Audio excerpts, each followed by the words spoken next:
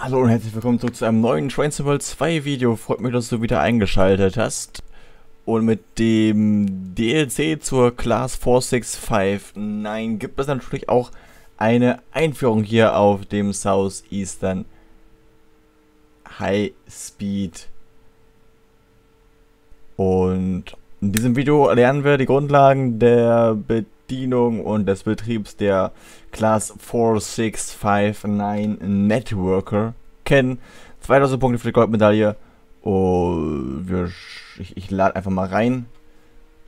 Und wir gucken uns dann nach dem Tutorial dann nochmal kurz an, welche Strecken denn mit dem DLC von der Class 465 mitgeliefert werden, was uns dort erwartet.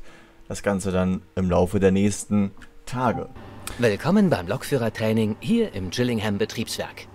Heute lernen Sie die Class 465-9 in Southeastern Lackierung zu bedienen. Diese kurze Einführung beschäftigt sich mit den wichtigen Fahrsteuerungen und Fahrgastaufgaben. Steigen Sie ein, um zu beginnen. Und die Szenarien dann all dementsprechend auch mit Zugsicherheitssystem, wie sich gehört. Aber die sieht ja schon echt äh, interessant aus. Nehmen Sie auf dem Lokführersitz Platz. Hier werden Sie den Großteil Ihrer Zeit verbringen. Wir können sich einfach mal so ein bisschen anschauen. Maximum Speed von 75 Miles per Hour. Hier haben wir sogar in sehr gut lesbar die Safety Critical Communication Protocols.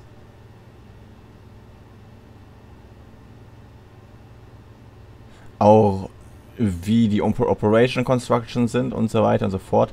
Also das ist ja schon äh, sehr faszinierend, sehr detailliert auch vor allem. Also detailliert ist es ja immer, aber das ist schon äh, nice, dass man so viel lesen kann. Um das Führerpult einzuschalten, stellen Sie den Generalschlüssel auf Ein. Mit dem Richtungswender stellen Sie die Fahrtrichtung ein. Äh, achso, auf neutral. Ich habe einen Schritt Stellen Sie die Außenbeleuchtung voraus. für den erwarteten Fahrbetrieb ein. Ja, das wäre wahrscheinlich dann genau Tagfahrt.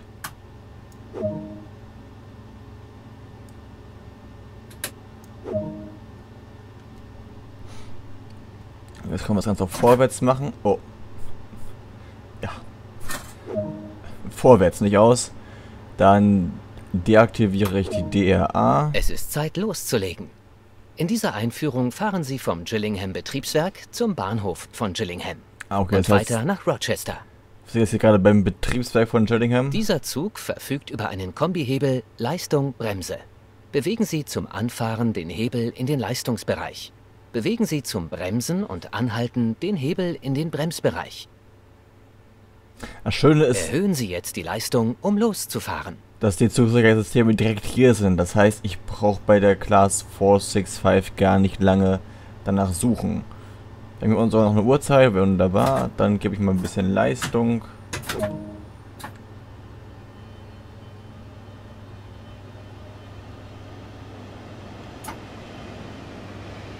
Geht doch ruhig ein bisschen mehr. Ah, ich freue mich schon auf die Szenarien.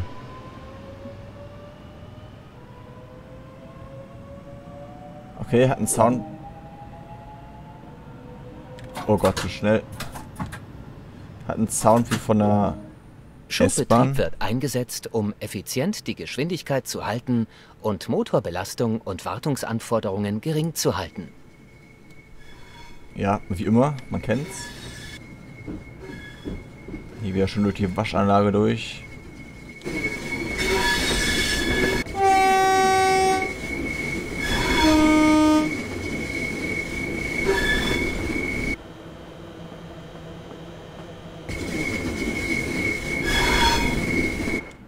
Auch hier wieder ein... Ja. Ein elektrischer Zug, der hier rechts mit der Strom... Trasse oder wie auch immer nochmal die Bezeichnung dafür war, äh, fährt. Und dann sind wir jetzt gleich bei Gillingham. Schafft 75 Miles per Hour. Also ich, Ich glaube, also es, es wird mit der Class Force 2 schon ähnlich viel Spaß machen wie mit der Class äh, 377. Ich denke mal auch, dass, also ich, ich, ich behaupte jetzt einfach mal, ich vermute mal, dass die Bremsen ähnlich gut sind. Ich meine, fährt ähnlich gut an. Ich gehe einfach mal davon aus, dass die Bremsen sich im Verhältnis dazu ähnlich verhalten.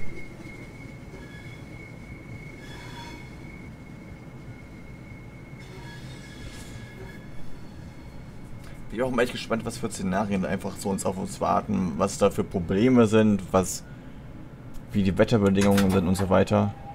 Aber gleich eh wieder unter auf 15 Miles per Hour. Lohnt sich hier gar nicht zu beschleunigen eigentlich. Geht's denn hin aufs linke Gleis nochmal? Wahrscheinlich schon, ne? Deswegen... Bewegen Sie zum Bremsen und Anhalten den Hebel in den Bremsbereich. Ja, nochmal kurz mal hier hin.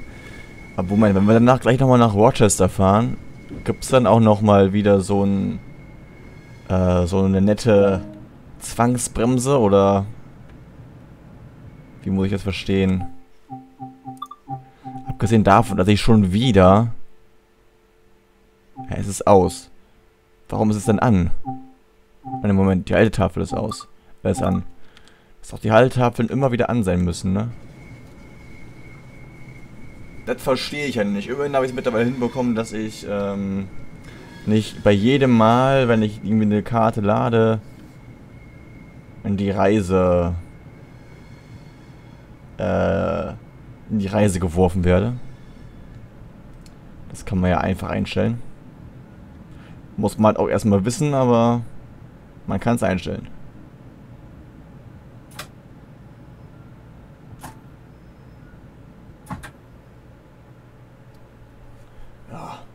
Bremsen sind gut.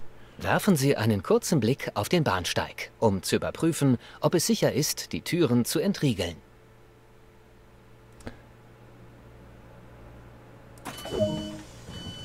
Auf, einfach auf alles freigeben, okay. Wir haben eine Tür freigeben. Was heißt denn das mit den hinteren Türen? Okay. Ja gut, dann macht es auch mehr Sinn, dass man auf alle drückt, ne? Okay. Ich verstehe. Ist aber schon, schon ein schickes Ding, ne? Kann man nicht anders sagen. Hat schon was. Hat so ein bisschen was von... Mir fällt gerade der Fahrzeugname nicht ein, aber... Erinnert mich so ein bisschen an ein Fahrzeug. Hier, die vordere Schnauze da vorne.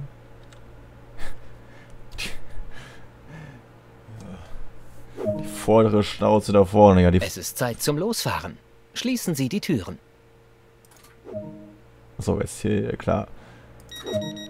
Fahren Sie diese kurze Passagierfahrt nun ohne Führung zum nächsten Bahnhof Rochester.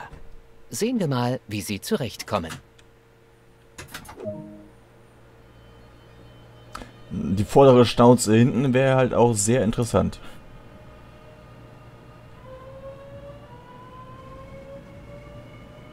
So, noch in der 15-Meilen-Zone, deswegen nicht allzu sehr beschleunigen. Aber gleich geht es dann ja wieder auf der Hauptstrecke. Wir fahren noch, okay, wir fahren bis Rochester, aber wir halten noch in Chatham. Okay, interessant.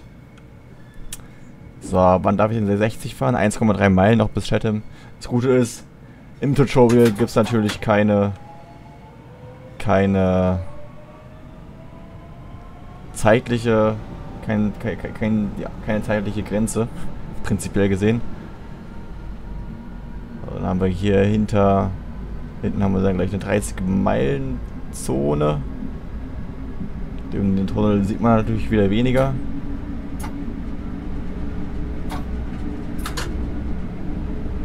So groß sind die Lichter auch wieder nicht.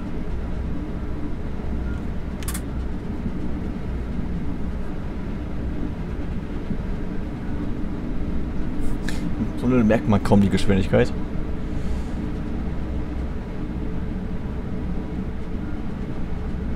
Aber ich, ich merke schon, das wird, das wird so ein... Okay, ich gehe gleich bergab. Es wird schon sehr eine, eine, sehr angenehme Fahrt auch werden hier. wie gesagt, wir schauen uns gleich nochmal an, welche Szenarien denn auch mitgeliefert wurden mit dem DLC.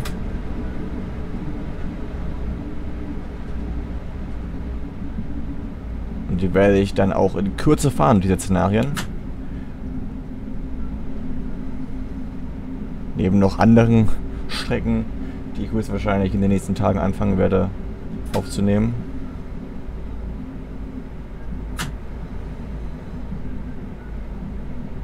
Da vorne ist dann die 30er-Zone.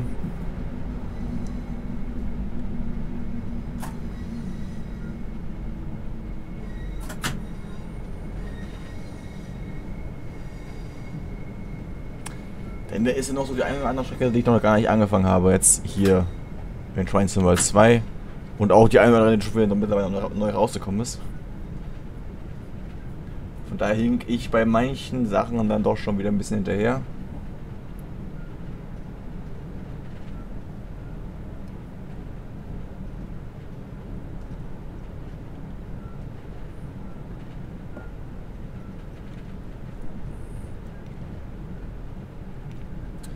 Muss jetzt, ich muss mich natürlich auch erst ein bisschen daran gewöhnen, wo ungefähr die Bremskurve anfangen sollte. Um den Bremspunkt bzw. den Haltepunkt nicht zu äh, verpassen.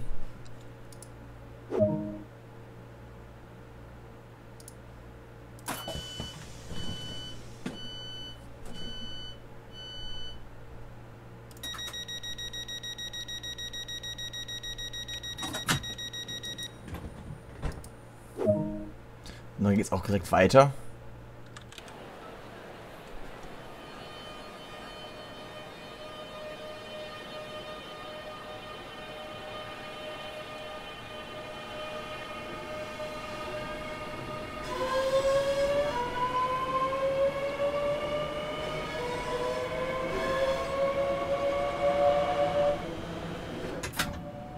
Und in den Tunnel rein.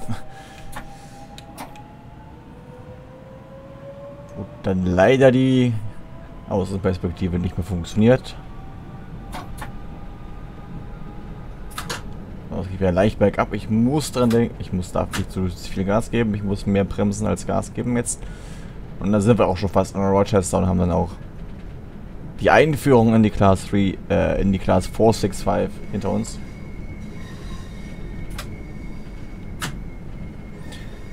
Und können uns dann mehr oder weniger gemeinsam an die Szenarien machen, wo wir viel mehr Spaß haben können mit der Class 465.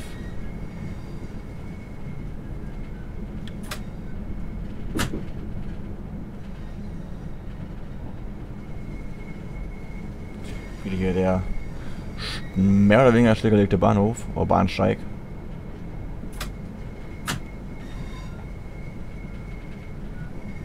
Weiß nicht, ob es ist, aber ich interpretiere es einfach mal so, weil hier scheinbar nicht die Möglichkeit mehr besteht, hier raufzugehen.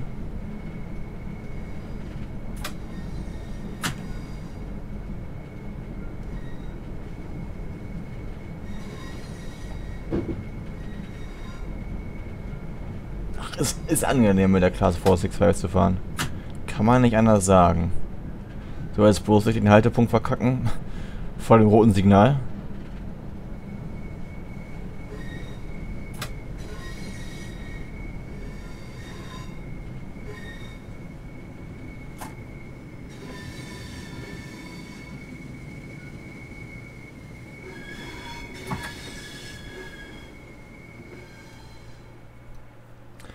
Perfekt. Nochmal die Türen hier wieder entriegeln. Gute Arbeit. Damit wären wir alle Grundlagen zum Betrieb dieses Zuges durchgegangen. Achievement unlocked, CL465 Training complete. Und auch wieder eine Goldmedaille dafür. Und Level 2 in der 465. Ah, kurz vor Level 3. Ja, äh, gut, Haltepunkt in Rochester war nicht, war knapp nicht der beste. In Gillingham mit 0,07 Yards war ich näher dran. Äh, 2768 Punkte gab es in Instagram und eine Goldmedaille. Ich bin mittlerweile Level 50, sehr schön. Nur noch 100 Level to go. ich glaube, es wird noch äh, doch eng werden mit meinem Ziel. Äh, wir schauen uns aber erstmal die Szenarien an, die mit der 465 mitgeliefert wurden. Die da wären einmal erweitertes Angebot. Übernehmen Sie die Steuerung einer Class 465 auf der erweiterten Strecke von Rochester nach Faversham. Ähm, das Ganze spielt im Jahre 2017 statt. Ähm, hat eine Schwierigkeit von 2 von 5. Oh, soll 40 Minuten genau dauern und 7000 Punkte gibt es für die Goldmedaille. Dann gibt es das Szenario Einspringen. Übernehmen Sie die Steuerung einer Class 465 und springen Sie für einen fehlenden Zug zwischen Gravesend und Gilling und Gillingham ein. Das Ganze soll 50 Minuten dauern, hat eine Schwierigkeit von 2 von 5 und gibt 9000 Punkte dafür und spielt im Jahre 9000 Punkte für die Goldmedaille benötigt man. Und das Ganze spielt im Januar 2019. Dann gibt es einen Übergangsvertrag. Übernehmen Sie die Steuerung einer Class 465 auf einem zusätzlichen Zug zwischen Rochester und Rainham.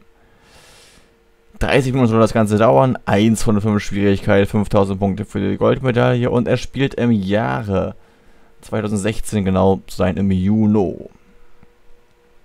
Und zu guter Letzt eine abendliche Leerung. Übernehmen Sie die Steuerung einer Class 465 auf Ihrem letzten Abschnitt des Abends, bevor Sie den Zug im Betriebswerk abrüsten.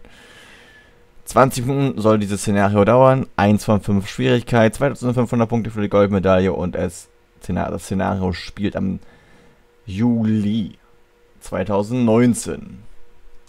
Das Ganze erwartet euch in den nächsten Wochen formulieren wir es mal lieber so, da ja noch das eine oder andere Root DLC oder Strecken DLC noch äh, unter meine Fittiche kommt. Ähm, wenn euch das Ganze gefällt, dann schaut auch gerne bei meinen da Trainable 2 Playlist nach oder halt bei meinen ganzen anderen spezifischeren Trainable 2 Playlisten von den einzelnen Strecken. In dem Sinne bedanke ich mich vielmals fürs Zuschauen und bis zum nächsten Train Symbol 2 Video.